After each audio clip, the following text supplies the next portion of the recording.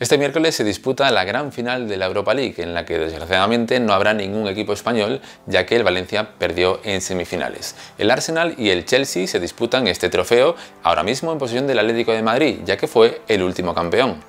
La final se disputará en Bakú, Azerbaiyán, un destino conflictivo que ha provocado que tanto Arsenal como Chelsea hayan tenido que devolver la mitad de las 12.000 entradas que les correspondían. Y es que cada británico tenía que pagar hasta 1.300 dólares para desplazarse hasta Bakú, lo que ha provocado que los dos clubes devolviesen hasta 6.000 entradas.